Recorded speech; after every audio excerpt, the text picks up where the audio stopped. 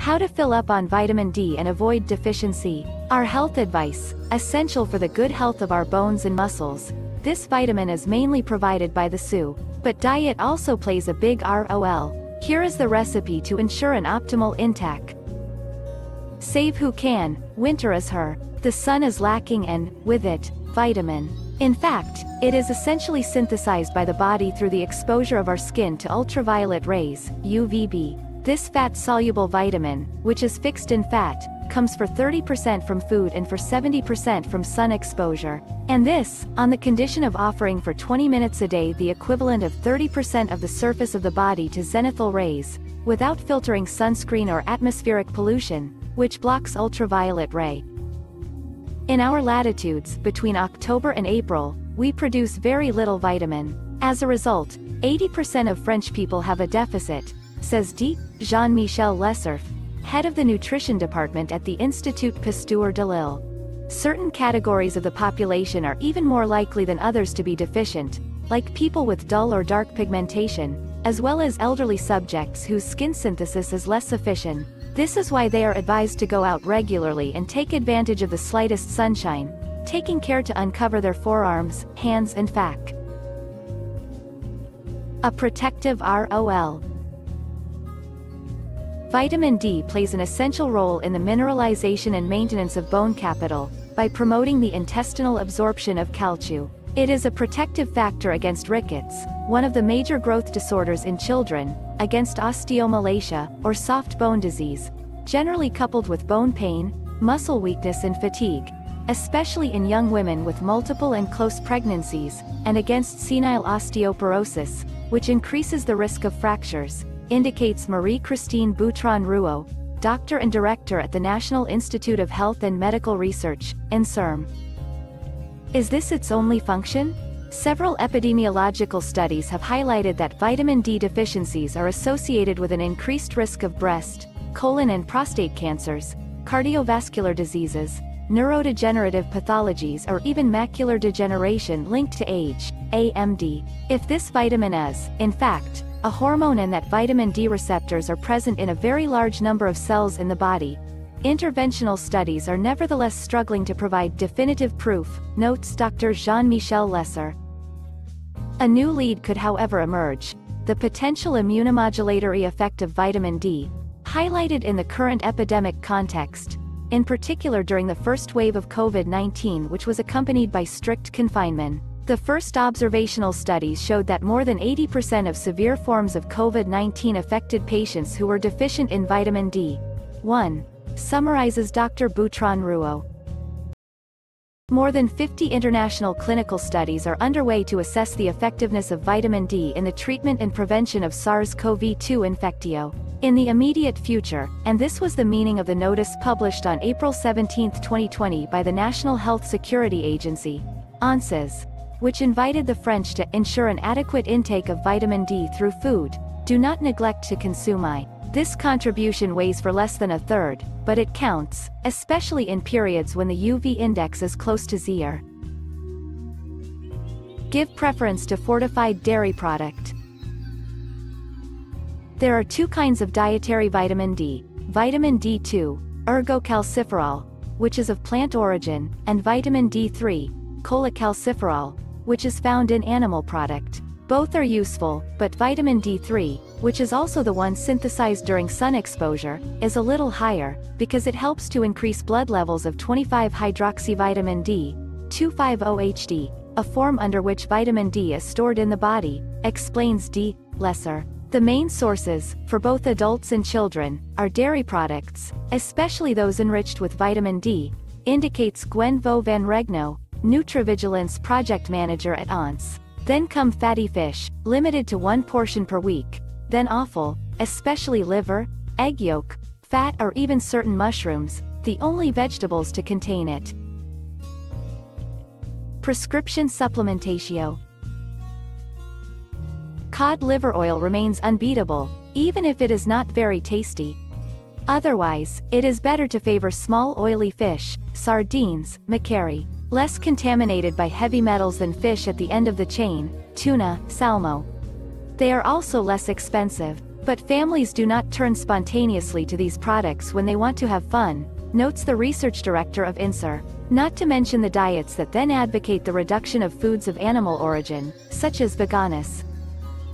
This is why medicinal supplementation, always based on vitamin D3, may prove to be essential in order to achieve the correct doses throughout leaf. During childhood and in old age, daily needs are great. The recommended daily intakes are 400 to 800 international units, IU, for healthy children, and 800 to 1000 IU for senior.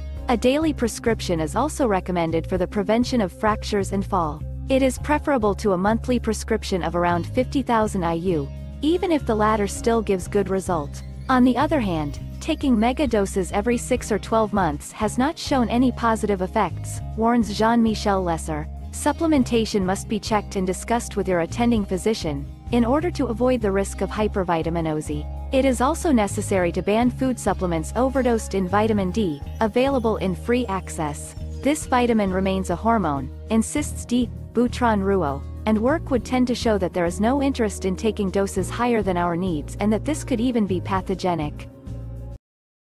Finally, to facilitate its assimilation, it is preferable to ingest this fat-soluble vitamin during a meal rich in Fa. 1. Journal of Endocrinological Investigation, June 2021. European Review for Medical and Medical Sciences, February 2021.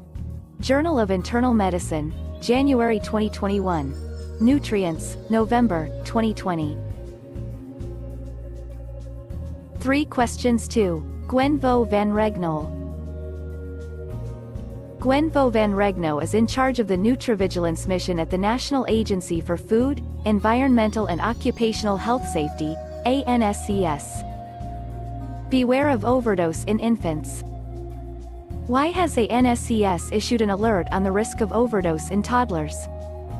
Gwenn Vo Van-Regnault. ANSES received three report. In all three cases, the parents of the newborns had a medical prescription for drug supplementation, with a well-defined dosage. This supplementation has been replaced by food supplement. The three products, purchased on the internet, and intended for adults, had doses up to 30 to 40 times higher than the recommendations issued for children.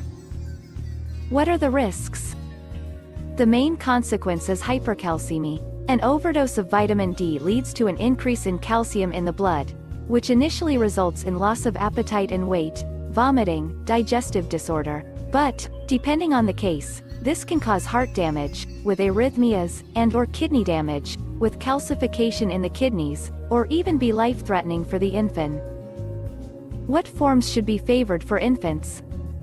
The drug should be preferred to avoid any risk of overdose. Unlike food supplements, it is subject to supervised and validated trial. The sources of vitamin D intake should not be multiplied, as this increases the risk of overdose, and the purchase of food supplements on the internet should be avoided, due to the risk of non-compliance. To know 10 and 15 mu this is the recommended dietary intake of vitamin D per day.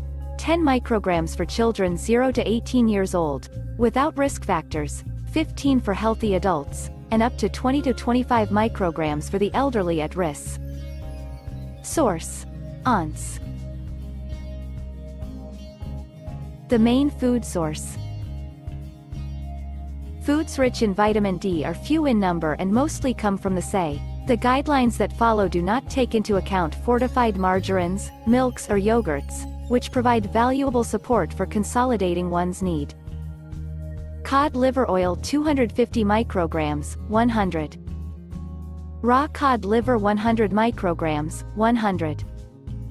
Horse mackerel 48.5 micrograms, 100. Sardine, pilchard, swordfish, herring, anchovies, eel, Rainbow trout 10 to 20 micrograms, 100. Mackerel, tuna, margarine 7 to 9 micrograms, 100. Veal liver, bacon, egg yolk, shiitake, morels, porcini mushrooms, dark chocolate 2 to 6 micrograms, 100. Emmental, soft cheese, milk, butter, mozzarella, yogurt 0.2 to 1.5 micrograms, 100. Source. Ciqual Table, 2020. At the end of winter, stocks are at their lows.